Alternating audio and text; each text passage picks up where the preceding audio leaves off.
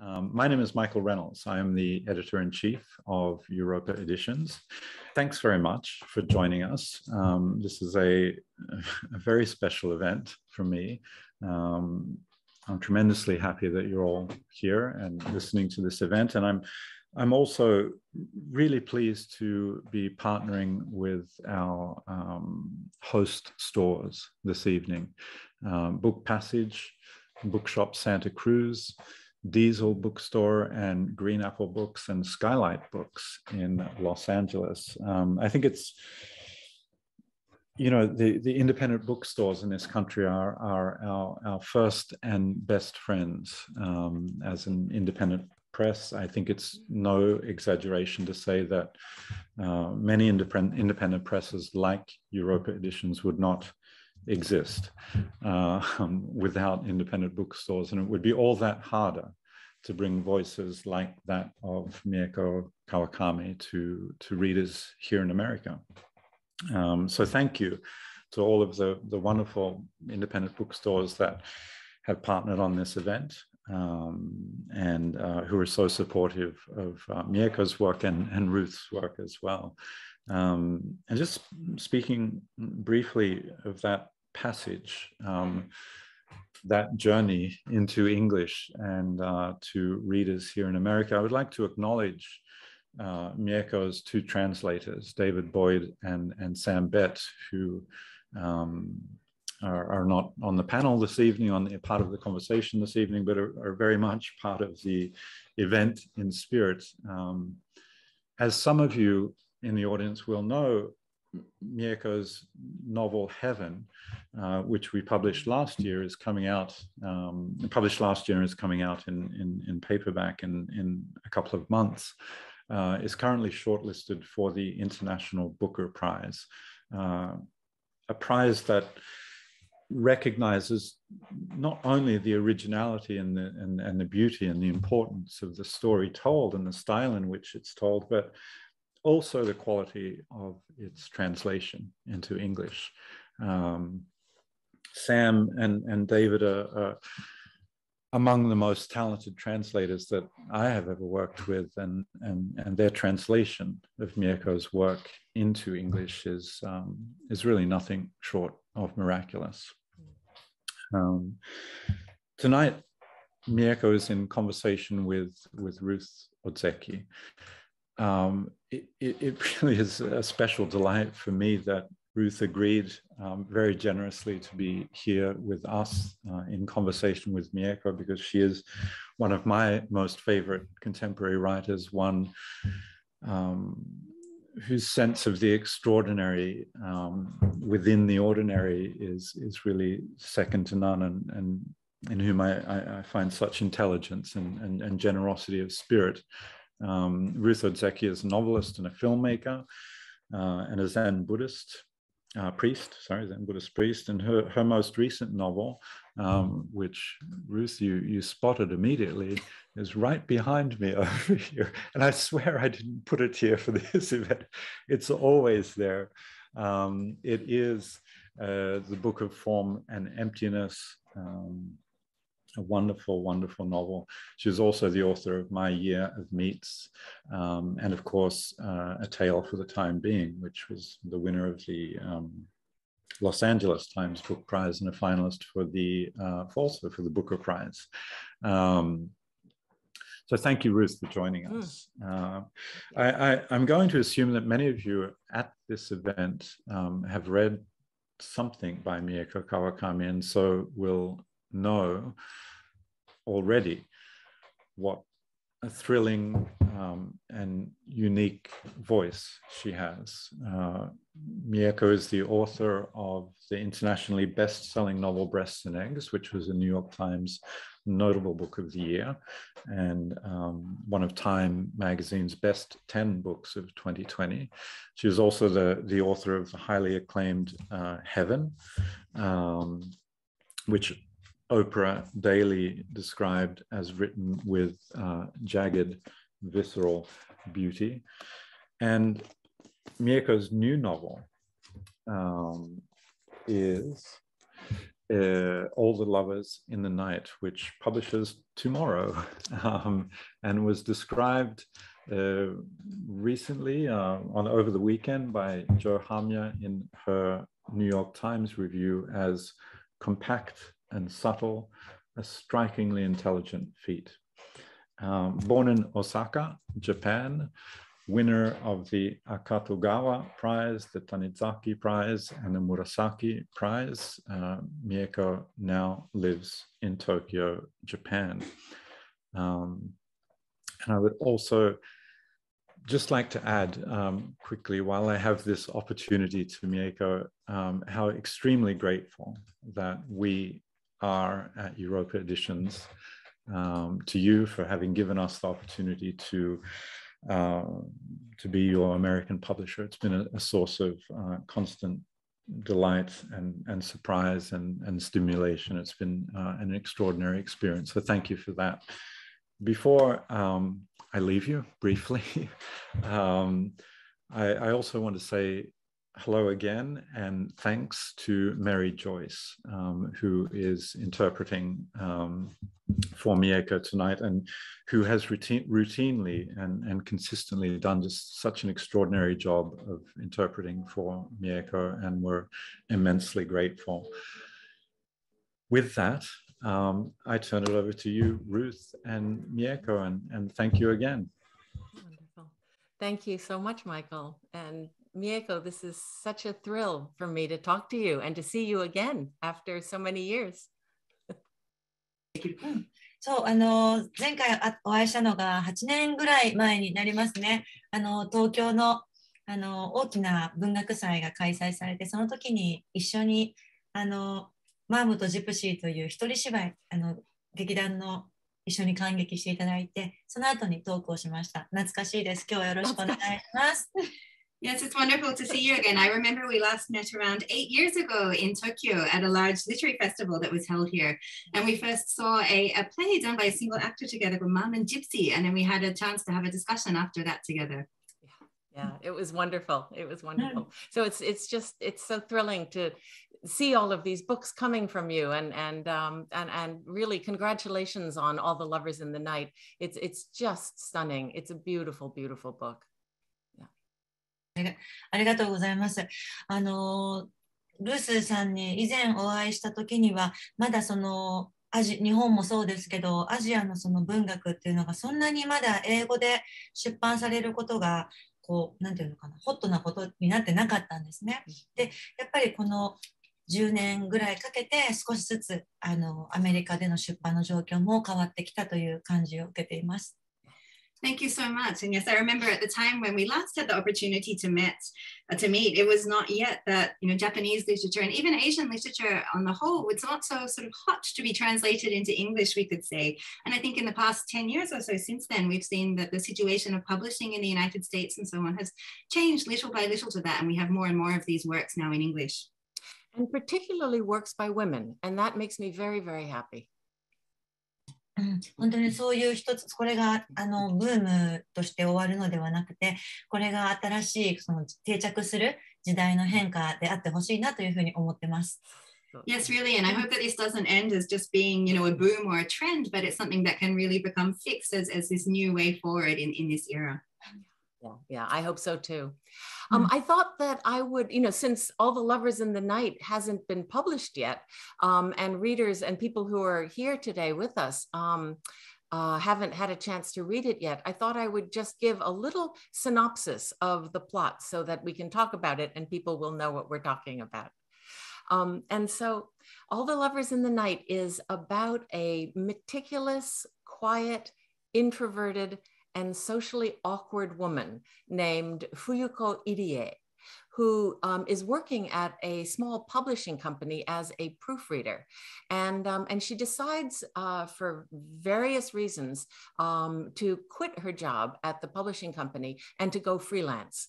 Uh, she's in her mid 30s. And so the situation is that she's living, you know, she's living and working at home in Tokyo, in this large city, um, and has very little contact with anyone outside her commissioning editor, um, who's this very outgoing and wonderful woman, about the same age as uh, Fuyuko, named Hijiri.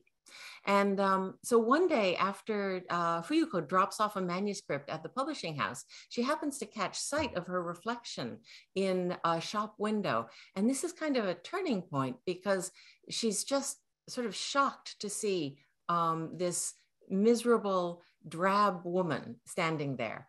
And this seems to spark some kind of desire in her to change. And um, so the book really follows her uh, attempts at transformation, which are often painful and often very funny too. Um, and little by little, she changes from a, a kind of invisible, silent woman who proofreads other people's words to a, you know, an embodied woman with a voice of her own. And so I, Mieko, I just love this book and I loved it for so many reasons. So I'd like to start by just asking you, you know, people always ask novelists, you know, where did the idea for your book come from? And in my experience, uh, the idea for a novel is never just one thing. It's usually a bunch of things kind of coming together and bumping into each other. And somehow from all this collision, you know, the novel and the characters are born. So I'm just curious about what kinds of things came together for you that inspired this book? ありがとうございます。もう素晴らしいあのシノプシスの予約で聞き惚れてしまいました。Thank you so much, and thanks for what a wonderful synopsis as well. I was just so drawn into your words as you were sharing them. you wrote you wrote the book. いやいやそれであの私もあの尾関さんと同じようにやっぱり物語があの出てくるっていう時はこう何かモヤモヤとしたものが複数のものがこう集まってでこう一つにこうなっていくっていうのは基本的にやっぱり私も同じ流れがあると思います。And so, as for where a story, where a novel comes from, my experience is quite similar to Ruth, as you've just explained it as well. You have these different multiple threads, these things that you can't quite put a, plate, a, a sort of figure on them, but they start to come together in a way.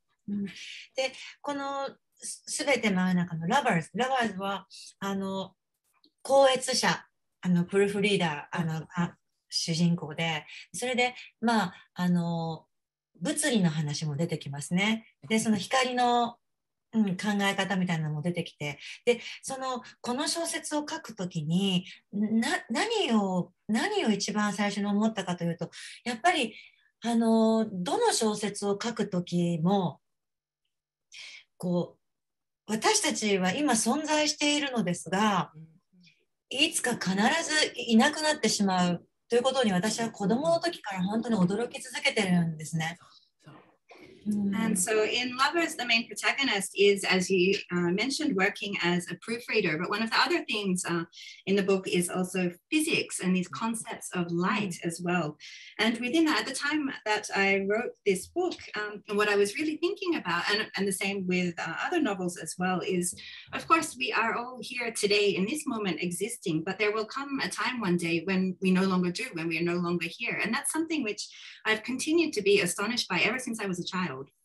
あのその生と死だけじゃなくてその生の中にある光ですとかそれから物とか私たちの認識がどのようになってるのかとかその子どもの頃からやっぱりちょっと哲学的なあの思考があったと思います。でやっぱり小説を書くときにすごいやっぱり1年ぐらいかかりますしやっぱり自分の思ってる自分の世界に対するなんか初期衝動みたいなものとか疑問みたいなものがあって私たちはどこから来てどこへ行くのかっていうことをずっとその書き方を変えてずっと書いてるような実感があります。And so, whether it's, of course, it comes to questions, it, it, could be of life and death, but not only that, even looking at within life itself, how light is coming up there as well, or looking at objects, how our recognition or our awareness of them is as well. I always did have these sort of philosophical tendencies in a way. And so, when I'm writing as well, you know, writing a work such as this, it's perhaps a process of one year. And within that, looking at your own questions about the world, where you're approaching or impulses towards the world as well. And of course, these questions of, you know, where have we come from and where are we headed as well. That's really beautiful. Um, i have also been so interested um, in, you know, philosophical questions. What is real? You know, this this was kind of the um, the question that ran through my last book, um, and and the book before that, I was I was very interested in playing with um, physics, with quantum quantum mechanics, and um, and so I, I feel like there's a you know the, that there's a that our books are kind of talking to each other in that regard um, and one of the things that um, I was I really enjoyed in this is the way that you um, that that you discussed or and it's it's not you know it, it's the um, it's Fuyuko and her um, her her uh, friend Mitsutsuka right? Um, the way they discuss light and sort of break it down. And it's it's very beautiful. And it has the um, effect of almost re-enchanting the world. この小説書くにあたって、あの、高越社の大きい高越局に取材に行ったんですね。それともう一つは、うん、で、あの、高越って私たちが本作るときに、高越社っていうのが実際にどういうふうに仕事をしているのか、で、それは実質的な仕事の段取りだけじゃなくって、その言葉、言葉をうん、読む読まないっていう何がそこで起きているのかっていうことをすごく知りたかったんですよ。そうすると高越者の人たちは本当にこう抑圧こう自分をこう抑制して抑制してものを読むんだけですけれどあの物語に身を委ねてはいけない、うん、とかねあとそのどんなにも何人がかりで、えっと、構成をしても誤色のない本は存在しないっていうことを皆さんおっしゃるんですよ。でこれは非常に私たちの人間存在の在り方とすごく響き合っていて、うん、見つけた時に初めて過ちが存在する。そして非常にこう量子学的な話で私すごくそこにまず惹かれたんですね。in the process of writing this novel, I went to a large company that does proofreading and actually interviewed and spoke with a lot of proofreaders. Of course, part of that was to learn about you know, the practical process of the work that they do, but more than that, about how they work together with the words as well, how they read or do not read the works that they are uh, working with in that sense as well, what happens within that process. And one thing that uh, all of them said is, first of all, proof, proofreaders really have to suppress themselves in, in that process of reading a work. They cannot allow themselves to actually read the story, which is taking place in the pages there as well. And the other thing, which all of them said, is no matter how many proofreaders will look at a particular work, there will always be a mistake that can be found in there. There is no work that exists without any kind of uh, typing mistake or something in there as well. And I think that this is something which really resonates with our human existence as well. It's only that moment that we discover these mistakes that they actually start to exist in a way. Yeah, yeah yeah. That's that's wonderful. I love that. Um you know uh, fuyuko is such an interesting and appealing character. I i just really loved her. And um when i you know when i learned early in the book that she was a proofreader right i had two thoughts right? And my first thought was damn, I wish I'd thought to write a novel about a proofreader. And then the second thought was, damn, I wish I had a proofreader like Fuyuko, you know? she's just she's just wonderful and so i guess my question is um, what is it that drew you to um, writing about a proofreader where did that idea come from what what um, what was the kind of um, yeah i mean it, it's such a brilliant idea and um, and I sort of felt that right away. It, you know, the proofreader is kind of an invisible profession that most people never think about. And so, you know, she she's kind of hiding sort of in the in the you know in the wings or in the shadows so i'm just i'm curious where that idea came from and and how was that to write あの、あの、やっぱり私が自分のこの仕事をしてなかったら、まず高越者という、あの、存在に、を身近に感じることってまずなかったと思うんですね。だから私がやっぱり小説を書いて、いっぱい間違いを指摘してもらったりとか、こう、でも私たちから見てる、見ると、高越者の方々って顔が見えないんですよ。でそう、でも、すごく大事なところでつながっている。うん、で、でね、な、なんで高越者にしようと思ったのは、その高越者のやっぱりそのどその高越者が読むということと私たちが本を楽しんで読むっていうこととまた書き手が本自分の作品をこう何回も念入りに読んでいくってことは多分違うような直感があったんですよね。うんそうそれでそこにすごくまず興味があったのとやっぱりその私が取材をした校閲者の方が間違いは必ずあるんだけれどそれを見つけるまでは存在しないって言ったことがもう頭から離れなくて。それって本当にそのまま私たちにとっての死。死死も死死で死の死との距離というか本当に私たちをいつか必ず捉えてしまう死っていうのはあるんだけれど。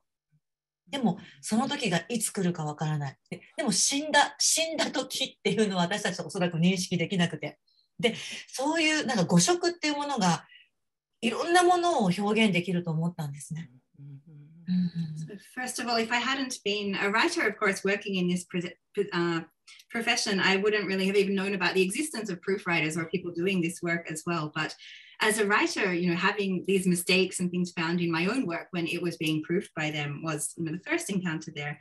But from from then as well, of course, as a writer, proofreaders are people who we cannot see their faces, but we're connected to them in such an important way as well. And so, as to why I decided to, to focus on a proofreader as the main character, I really had this interest in the different sense of the process of reading, whether it's being read by a proofreader, being read by the reader of the novel who's enjoying enjoying it as they're reading it, and then of course as an author reading their own work as well. These different process and sense in that as well. That was where my first interest there as uh, was. But then within my interviews with proof, proofreaders uh, in preparation, the fact that all of them said that there is always a mistake in everything, but it doesn't exist until it is discovered.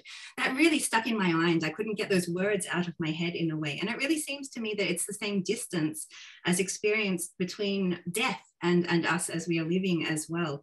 You know, in a sense, of course, death will come to us all one day, but until that moment you know it has this this distance from us as well but then the moment that we die of course perhaps we're no longer able to to recognize or, or acknowledge to understand that in a sense as well and so i feel that mistakes in that sense can really be related to to many different things in our experience Mm-hmm, mm-hmm. Oh, that's really beautiful. I love that. I love that. Um, you know, and it's it's interesting too because I think um, you know to kind of put those two answers together a little bit.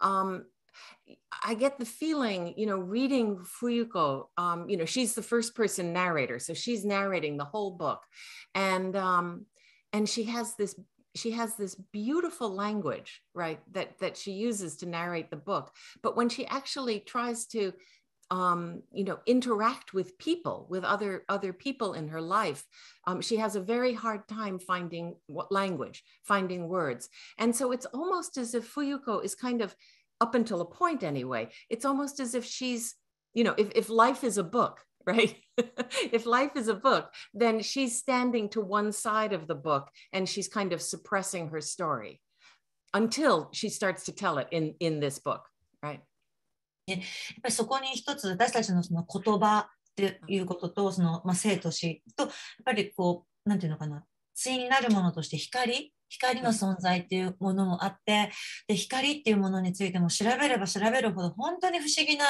り方をしていて、うん、私たちがこんなに今たくさんのま色に囲まれてるんですけどもこれはまあその光のレベルで見ると全てが残り物の残り物を見ているっていう物理学上はなるみたいなんですね。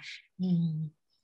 Uh, thank you so much for that. I think it's the same for, for words, but also life and death. And also, if we come to light and the very existence of light as well, the more you research about that, the more you really feel that it's a very strange and peculiar thing indeed. And I mean, the different colors, of course, we're all surrounded by many colors, but these colors are just things which are you know, left behind by, by the light. だから本当にそのいろんな私たちの 小説家はおそらく言葉で世界を認識してあのなんとかこう書きあのな、まあ、なんていうのかな物語にしていこうとする人たちなんですけど物理とかあるいはその尾関さんのその禅っていう考え方その姿勢とかから見た時に世界の在り方っていうのはやっぱりそれぞれのこうなんていうのかなであのレイヤーがある。で、そそれをやそれはす素晴らしいことですごいことでやっぱり人生が1回ではちょっと足りないなという気持ちになりますね。 of course, as an author, you know, we perhaps, you know, recognize or look at the world through words, and then we express that, of course, in words mm. as well. But when we look at whether it's physics or, you know, Ruth yourself, you know, looking at Zen and its way of thinking and so on as well, all of this has so many layers included within there, which is such a wonderful thing. And when we think about that, you know, just having one life is, is really not enough. definitely not. it's definitely not. There are too many books to write, Miego-san. There's too many books to write. もうあと長編も何冊か、ね、決まってるからあのやっぱりそうやって考えると私たちは何か大きなもののやっぱり一部でありながらでも何にも変えられないこのものを生きているっていうすごく矛盾するものを私たちは生きてるんですよね。And it's perhaps limited in terms of, you know, how many more full-length works we can write in a lifetime, of course, as well. But we can thinking about the fact that we're we're living and life itself is, you know, part of something bigger, something greater in a way. But there are so many things that we do not have the power to change as well. There, it's really just completely full of contradictions in that way. Yes, absolutely, absolutely. Um, I wanted to just talk a little bit more about Fuyuko because I, I was so, um, I, I, just loved her language so much. Um, she has, you know, what you manage to convey or evoke in her character is her remarkable powers of observation you know she has such a keen eye and she pays you know of course because she's a proofreader but she pays this meticulous attention to detail right? And this is what makes her so good at her job. But it's also when she turns that eye like on herself, right? It makes her sort of painfully self-conscious, right? And so the, you know, the same eye that looks out and sees, you know, sees beauty, sees all the mistakes in herself, right? And that that was that was really kind of heartbreaking. That really was very moving. Um, you know, uh, and and part of what I felt characterized her. 彼女はあのやはり内気なね、そのちょっとこうあの社決して社交的であるとは言えないあの性格をしていて、それであの思いを交わす三塚さんもそうですよね。うん、でそういう2人のあのリレーションを書きたかったんですね。でそれであのこの小説を書いたのはね驚くことにもう10年ぐらい経つんですよ。であの私の書いた登場人物の中で彼女は一番、まあ、地味なキャラクターなんですけれども一番この本がよく読まれていて冬子さんにあの冬子さん冬子さんって言ってくれる読者が多いんです。Uh, so she is indeed, you know, quite an in, internal looking, not necessarily such a social personality. And uh, Mitsutsuka, who she develops this relationship as well, is also similar in that sense. And I really wanted to write and portray the relation that develops between the two of them. Uh, but it's quite surprising, but actually it's more than 10 years since I actually wrote uh, this novel. And it's it's interesting because within the different characters that I have written, she's perhaps the most plain in a sense, but this book is perhaps one of the most widely read uh, works that I have written. And everybody is always, you know, talking about this character, Fuyuko, Fuyuko. Everybody really uh, comes back to her. で、その、これを書いていた当時、その日本では非正規雇用の問題が、あの、あと立ち上がってきたんですね。来た頃だったんです。 And when I wrote this book, it was at a time in Japan where um, the issues related to sort of irregular work or precarious work, in a sense, were starting to come up. で今10年経ってどう変化したかというと事態はもっともっとひどくなっていてあのフリーランスあの非正規雇用者の方方々はその私もちろんフリーランスの人たちみんなこのコロナ禍になってもすごい打撃を受けて本当に大変な、うん、10年になりました。Mm-hmm. And as to what has changed in, in the decades since then, the situation has continued to really get worse and worse throughout these 10 years for freelancers or people in this kind of irregular employment. Mm-hmm. And then, of course, the impacts of COVID 19 have been you know, hugely negative on, on people in these uh, circumstances.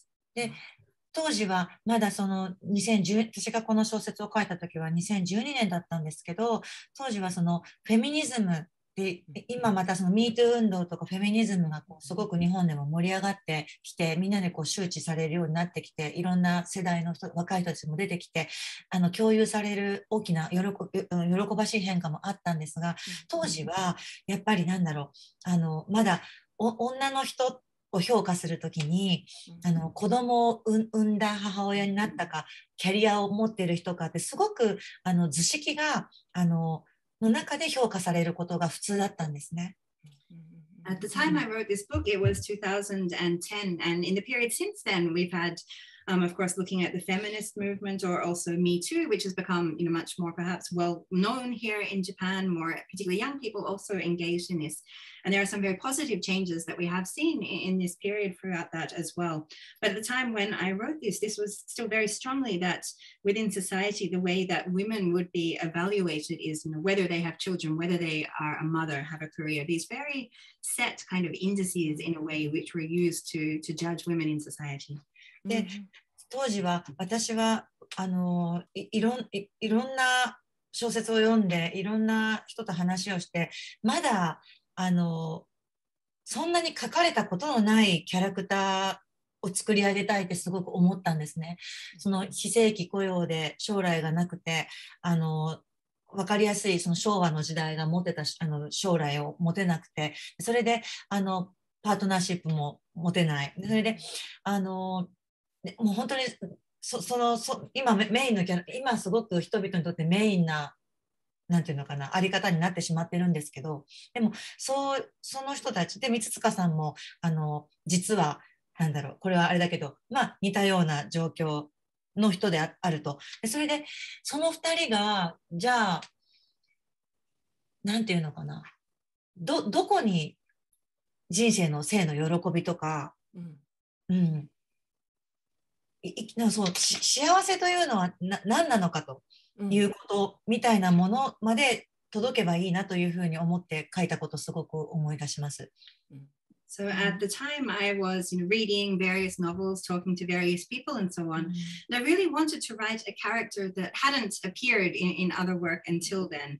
You know, so looking at someone who is in this irregular employment without necessarily a clearly defined future, but based on you know that legacy of that Showa period in Japan of this high growth and so on as well. But someone who also doesn't have any kind of you know partnerships in terms of relationship, which this is perhaps now a sort of quite um, main or common way of, of being for people in society as well. But in a way, also Mitsutsuka, the other character as well, without giving too much away, is in similar circumstances in his life as well. So I was really thinking about when writing these two, you know, where do you find, where do people like them, can they find joy in life? You know, what is happiness? Mm. These are the kinds of questions that I really wanted to deliver to deliver as I was writing this. Mm-hmm, mm-hmm, mm-hmm. Yeah, that's so interesting. I, there's so many areas that so many directions I want to go in now. But um, just to go back to this idea of the freelance status, um, I think that in um, in the U.S. Um, the you know the sort of employment systems are different, and um, so you know when Fuyuko leaves this company you know that that she's working in. She has a real you know she has a company job. She's you know working as a proofreader in this company. And um, it's very oppressive because she's being bullied in this company. Um, the other particularly the other women are being quite cruel to her. Um, and she finally you know decides to leave and to go freelance. And there's this beautiful passage um, where she when she walks out of the office.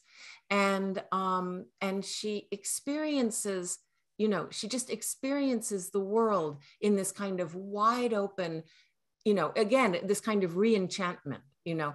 Um, and and i'll just read that passage if it's okay with you because i'd like to you know i'd like people to you know sort of hear what kind of you know what we're talking about. Is that okay okay, okay, okay. Of course, of course, of course. okay, okay, because it's so beautiful. So she she writes, she you know she's carrying these two paper bags out, and she says, setting my two paper bags onto the ground, I took a moment to stretch my back and exhaled deeply, and then inhaled so deeply that my chest hurt. Once I repeated this a few times, a freshness I was sure I'd never known before spread slowly through my lungs, and I was filled with an awareness of the soft places inside me, spreading outward by degrees. It felt as if the flow of cars, no different than ever, and the greenness of the street side vegetation and the air itself were all a little bit more lucid than usual right. And it's this it's this beautiful evocation of somebody who walks out of the office and just experiences the world you know? And it's so sad because then the next minute she starts to doubt her decision. And suddenly and she writes the veil of darkness came down over all i saw. And and that little section i thought just i mean there's i could I, feel like I could just, I would just want to read out loud sections because they're all so beautiful. But that the contrast there between that that expansion and the light and then the veil of darkness coming down was was really interesting to me and very beautiful. And and so I think that um, you know. Eh, for for uh, Americans to really understand, you know, the the stakes involved um, of quitting your job at a company and going out into the world as a freelancer, um, you know, it's a big deal, right? えということえアメリカではアメリカでもえアメリカにの人たちにとって会社を、えっと、辞めるっていうことはあれすごいビッグディールなんですか For people in the United States, would quitting a sort of company job be such a big deal in that sense? You know, I think it's different. I think that um, people in in America jump around a lot. I think we have, you know, we don't have that tradition of you know uh, of graduating from college and being employed at one company and staying there you know the lifetime employment system which was you know such a big deal in japan for so many decades right and after the war and then you know recently it's really started to fall apart and we never had that system you know そうか、あ、そうか、あの会会社を完全にこうこうダウンするんじゃなくて、こういろんなところをね、あのやってステップアップしてキャリアアップしていきますよね、アメリカの US はね。あそうそう。でも日本は確かにあのあれですね、一つのところでどれだけ耐えて、その会社に貢献できたかっていうことが、その人生の、なんていうのかな、あの、業業績になっていくところがあるんですよね。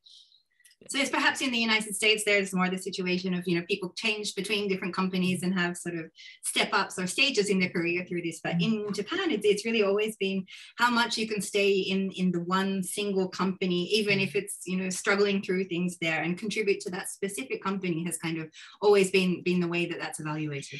これ本当にでもなんか難しい問題で、私すごくあのいわゆる氷河期世代、就職氷河期世代のど,ま、ど真ん中なんです。1976年生まれ and it's quite a difficult uh, situation in the sense as well. And the mm. generation that I'm from is I'm really right in the middle of that generation where, where that shifted in a way as well.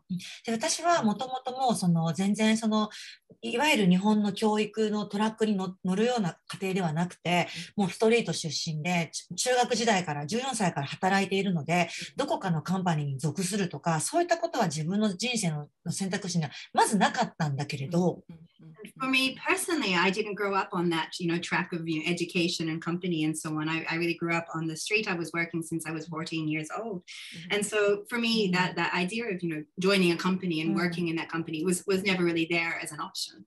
それでも、あの、私たちが社会に出る、私たちの世代が社会に出るって時に、フリーランスっていう、これからフリーランスっていうのが出て、フリーランスとして生きていくっていう選択肢が できますよっていうのが歌われた時だったんですよ。そのネオリベですよね。新自由主義の、あの、そう、あの、非正規雇用者もやっていこうみたいな感じですごくね、ポジティブに紹介されたんですよ。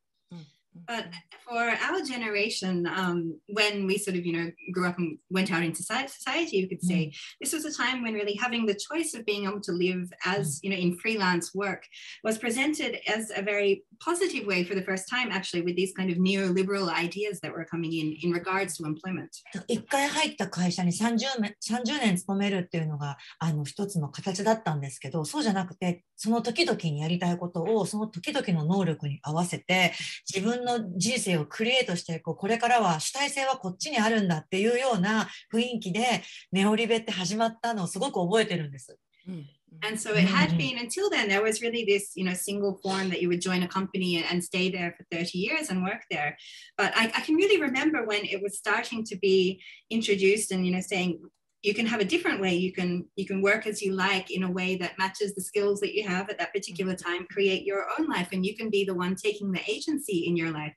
And this introduction of these kind of neoliberal ideas in a way. でもそこから 20年とか30年が経ってしまったわけなんですよね。平成と終わって。そしたら今日本どうなってるかというともう本当に見るも無残なというか私たちの世代はもうなんていうのもう所得がどんどん下がって結婚ももう物理的に結婚とか家庭を新しく持つことが自分のユニットを持つことがまずもう難しい。で家賃を払い続けていくことももう難しくなってもう新自由主義の悪いところというか夢夢がもう一気に、うん、あれは何だったんだということでこの30年が終わってしまったんですね。But as to what's happened in Japan in the 20, 30 years since then, with you know the end of the Heisei era and so on, now it's in this very cruel situation where, with for our generation, there is this huge income disparity which is in place. It's extremely difficult for people to be able to even financially, you know, have their own family or family unit to continue to pay rent as well. And really, we're seeing now these negative sides of this, you know, neoliberal dream that was being presented. And you know, Mm. where did that go? What what has happened now? And the situation 30 years later is completely different. だから冬子もその世代ですね少し私より年下なんですけど冬子もその世代であのでもでもその中でもやっぱり私たちは生きる生きるためにあるいは生きていることから幸せとか希望とかそういったものをあの見つけるものだしあの見つけてほしいし見つけたいと思っています。でそれが一体何なのかこれまで幸せだって言われていた例えば家族を持つこととか親になることとか出世することとかそういったルールではない何かもっとこうこすごくパーソナルなもの。うんなんか記憶とかね。なんか思い出とか、うんもちろん思い出とか記憶でお腹はねあのご飯は食べていけないんですけどでも人間は精神でもあるからうん。やっぱりそこはもう絶対にゆ譲りたくないというか、うん、なんかすごくその中ものすごい辛い中ですごく極限状態、まあ、日本っていうのはまだ恵まれてますけどでもそんなすごくハードなシチュエーションの中で美とかね光のあり方とかなんかあ圧倒的なそのなんて言うんだろう。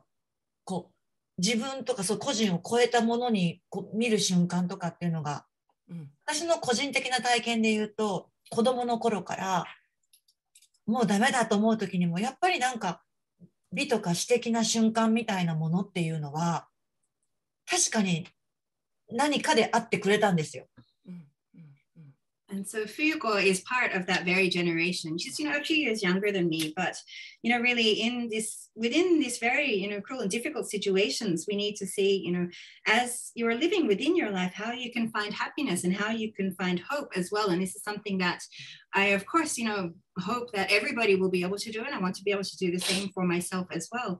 But these things that were always thought of as, you know, the way to define happiness, you know, having a family, becoming a parent, succeeding in your career, how we can find different forms of happiness as we are living as well in a much more personal way. This can perhaps be in you know memory. Of course you cannot you know survive and make a living just based on memory as well but humans are also you know spirits and i don't want to or we shouldn't have to abandon that side of ourselves as well.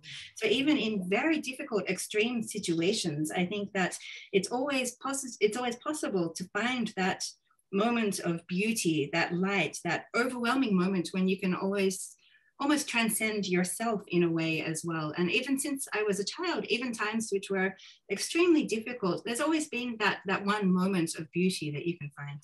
Mm. I think this is what Fuyuko does so beautifully in this book. Um, you know, in a way, you know, it is a first person narrative, right? And first person narratives are always narratives of survival right. The the i you know a first person narrator narrator is you know that that story is always you know sort of dear reader you know i survived to tell the tale. And and that's what that's what fuyuko does. She survives to tell the story the story of her life and you know and she finds the words. And so i think it's a you know it's a it's such a beautiful um and and very hopeful you know very hopeful book.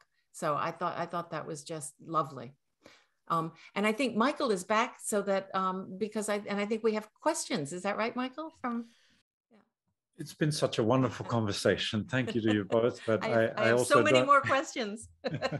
I, I, I, don't want to leave our audience members No, no, hanging, no. and there are a few good questions. good, But good. um, I'll start with with Alison. Now, you, you you touched upon this earlier with regard to the changing context around your novel, Mieko, but I think Alison's question is a little bit different. It's more about sort of the personal experience, the experience of you as a writer coming back to a book that you wrote more than a decade ago uh, and is just now coming out in translation in English. W what is that experience like for you? なんかやっぱりだんだんこの年なんか 1, 1年が1年とか5年とかその時間の経過がやっぱりねどんどん短く感じられているので10年前っていうものに対する若い時は10年ってすごいそれこそね永遠みたいに感じてたけど最近はもう10年っていうと、うん、昔の3年ぐらいの感覚。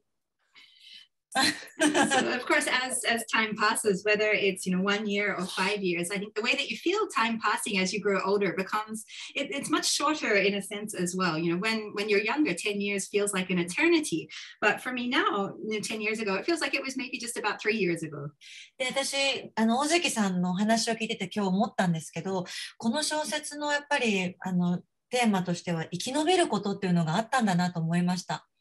And hearing Ruth's words today, I think I, I, could really see within this novel, there was also this theme of survival in a sense. 誤植も本の中である意味で生き延びる。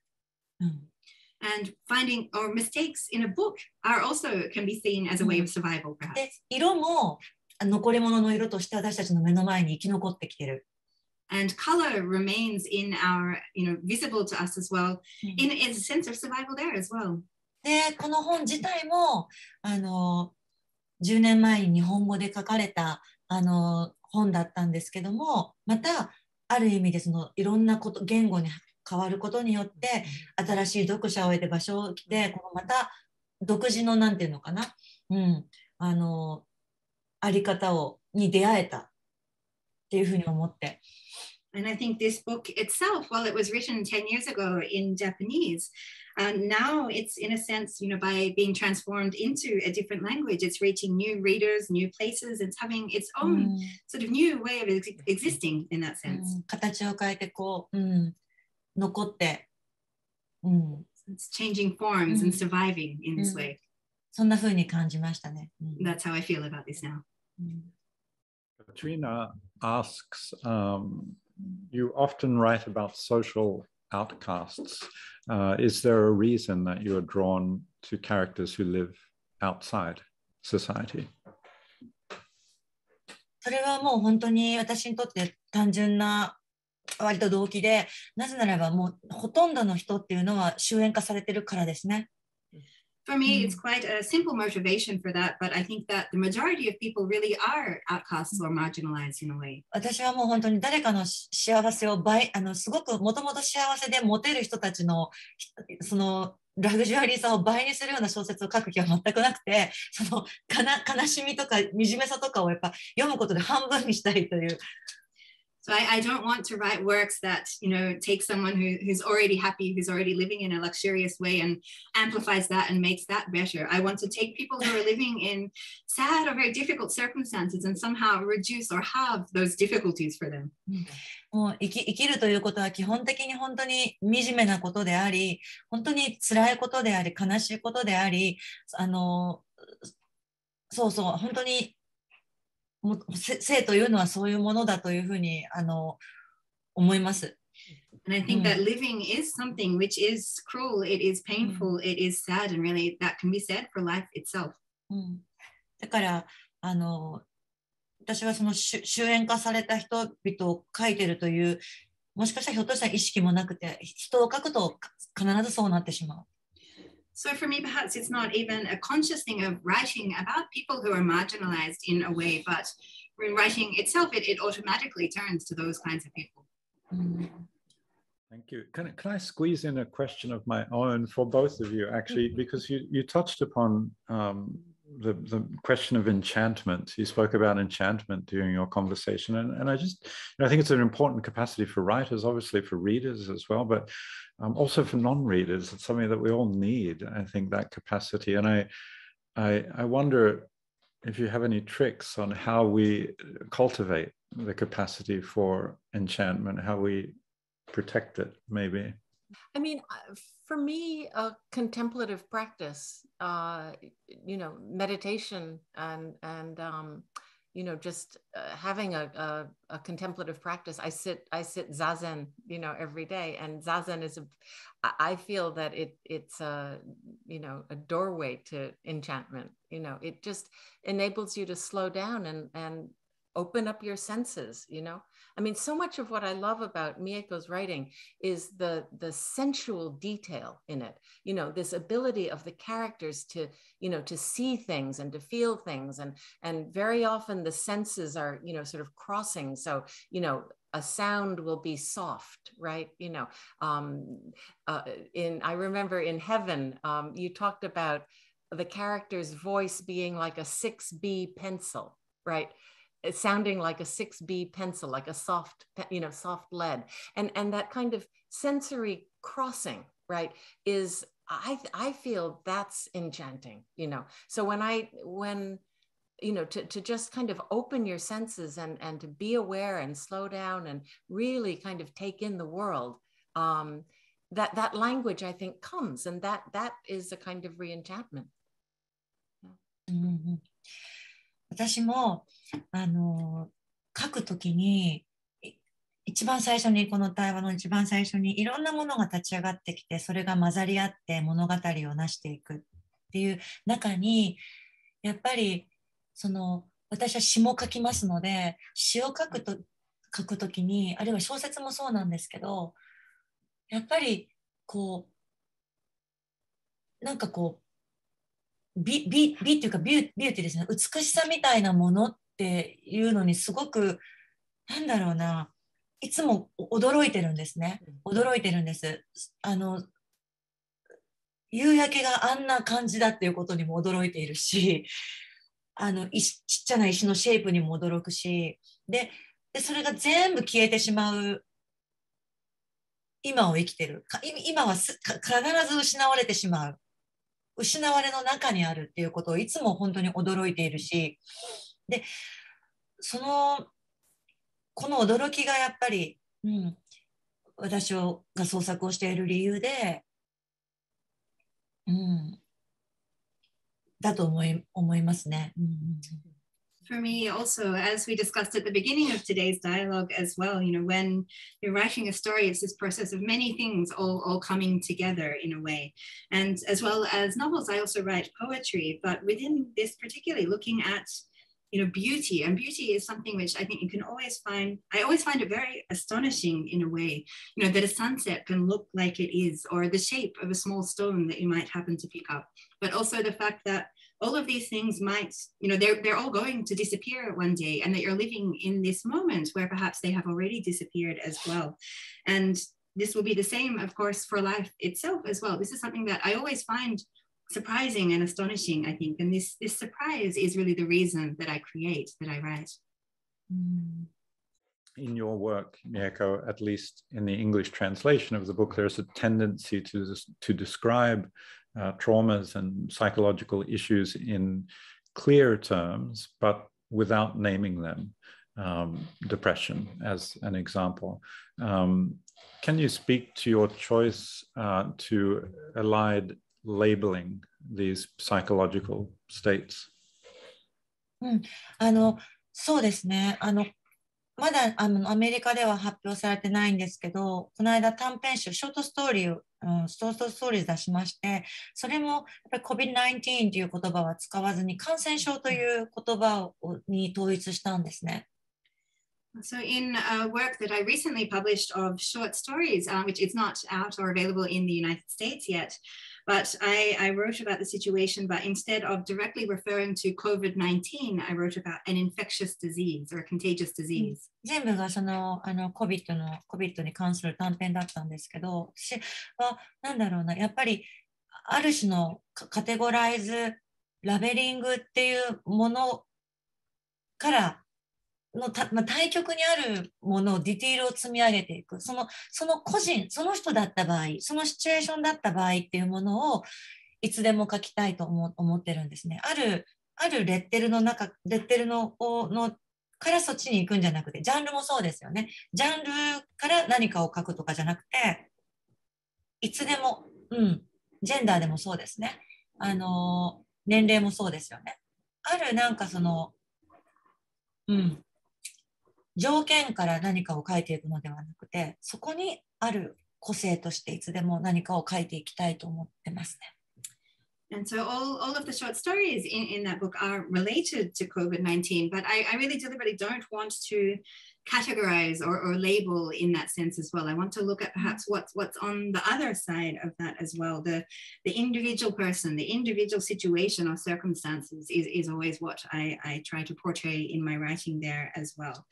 And um, you know perhaps it's it's the same for within within the work as well but the same also for you know genre i don't not want to start from a particular genre and which is defined and then write a work from there or even for gender and age it's not from the circumstances that i want to approach something but always from the individuality within mm.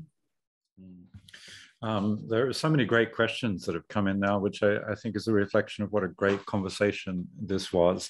Um, I think maybe I have time for two last questions. Um, so I'll get to Brianna's question. I'll try to roll two of hers into one if I can.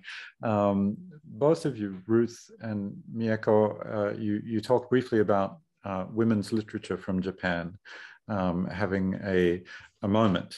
Um, are there particular themes, specific themes that are emerging from this literature um, and that are expressed in, in your respective works.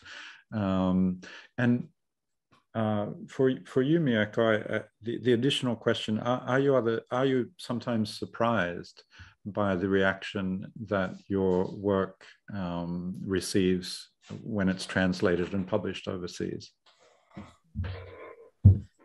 Well, I'll just um, jump in quickly. Um, you know, I think that my work is is um, not women's literature from Japan. It's women's literature from um, America, but it's about Japan, right? Or at least some of it is about Japan. So it has kind of Japanese themes. So it's a, it's a little bit different, but I do see um, I, I, do see uh, similarities or or places where um, Mieko-san's work and my work kind of um, join, and certainly um, you know the the focus on women is you know is extremely important.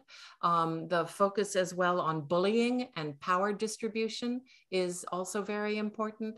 Um, the interest in physics and philosophy and this way that science you know can make the world you know un, explain the world but also make it strange for us in a beautiful way. So that's i think something um, decisions that women have to make like you know job decisions versus childbearing decisions those kinds of things i think is those are also um, similarities um, and then the last thing i would say is a, is an awareness of the importance of story right? So it's a kind of um, almost a metafictional awareness of the importance of telling story. So I, I think that those are just things that pop off the top of my head. うんうんうん、そうだね。あのじ人のある人の生きていくことのその描写を通して尾崎さんの本はやっぱりこうその表現することっていうのが何なのかっていうところにやっぱり、うん、あの行くので and in that mm. sense you know within Ruth's work as well you know portraying the life of a certain person mm. it really comes to these questions of you know what what is expression mm. even as well でその私への質問に対してはあのやっぱり今までの日本文学っていうものがやっぱりあのもう少しこうやっぱりそうは言っても日本のイメージイコールやっぱ東京、東京のイメージだったんですよね。で、東京っていうのはすごく、あの、非常に、なんていうのかな、奇妙な、奇妙な融合をしている都市で、で、みんな日本人は同じような、こう、暮らしを、水準の暮らしをしていて、で、同じぐらいハッピーで同じぐらい不幸っていうイメージをみんなやっぱり取材とかたくさん受けても持っていらした。And as to the question which was directed to me, I think that until now, whether it's within the Japanese literature that was being translated or the image that most people have of Japan is, of course, Tokyo, which is a city which is a very peculiar fusion in a way as well. But through the interviews and so on that, that I've had with um, you know people outside of Japan, I, I found that most people have this image of all Japanese people living the same standard of living and the same the same amount of happiness and the same amount of unhappiness as well. だから やっぱり日本はある種そのすごくあの文化的にも経済的にももうあの固定されていてそこから出てくる何か、まあ、キッチュっていうかちょっとこうフリーこうなんていうのかな。こうちょっとねあのこうウォーあなんていうの？あれあのなんていうのかな。こうちょっとフリークなものみたいなものを期待されてるっていうのはすごくあの感じていたんです。あの私の英あの英訳を進めてる時にも。And so, in a sense, I think that there is this sort of you know fixed image of Japan, both culturally and economically, in a way as well. And and I felt that you know in the process of my works coming out in English and so on, there's always this expectation of what is coming out from Japan to be somewhat sort of kitsch and quirky in a way. だからこうなんていうのかな。 すごいニコニコ親切なんだけど何を考えてるかわからない東京の人でもっと奇妙な話君たちの感じてるオタクとあるとかナードの感じとかそういったものをもっと聞かせてって言われてるような気がずっとしてたんですね。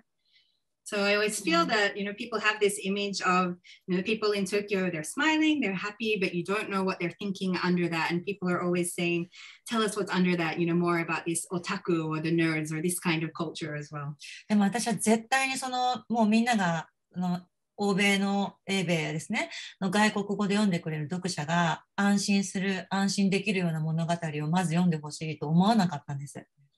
But of course, I, I don't want the, the readers in the US or the UK and so on to be reading works that they can just you know read and be put at ease in a way. あなたたちがあのアメリカの読者たちが期待している日本みたいなものとは全く違うものがあの私は書けると思ったしあの日本にはとにかく階級があると ストリート出身の人間がいて女性はこのように生きていてっていうことをとにかく最初の本であの書かないといけないと思いました。And so I, I, really didn't want to just write something which would fulfill these expectations that readers in the US would have of Japan, you know, the kind of Japan that they expect to see on the page as well. And, you know, want to show, you know, classes, class differences do exist in Japan. People are living on the street, you know, women are living in these kind of situations as well. And this is really what I wanted to write about even from my first work. だから、あの 海外の読者の反応で驚かれたことはっていう質問に対しては、やっぱり日本にも貧乏があったんだねっていうことをやっぱり一番言われましたね。So, in terms of the, the reactions from international readers, and if there was anything that surprised me, one of the first reactions or most common reactions was, Oh, we didn't know there were poor people in Japan as well. うん、本当に本当にたくさん言われたよでも。But really, I was told this so many times. みんなお金持ちだと思ってたって。Everyone always thought that everybody in Japan is rich. um, a reminder that this extraordinary conversation has been co-hosted by five of the best independent bookstores in the country Book Passage, Bookshop Santa Cruz, Diesel, Bookshop, and Green Apple Books and Skylight Books. Um, if you haven't already, you should run out and buy both Ruth's and Mieko's latest book um, books at those bookstores. Um, a reminder that Ruth's most recent book is the Book of Form and Emptiness, and Mieko's latest novel publishes tomorrow, and it's called All the Lovers in the Night. Um, this has been really an unforgettable conversation. I'm grateful to both of you um, for your time and uh, also to you, Mary, for making this possible, and um, to everyone who joined us. Thank you very much, and good night. 尾崎さん、ありがとうございました。いいえ I had a great time.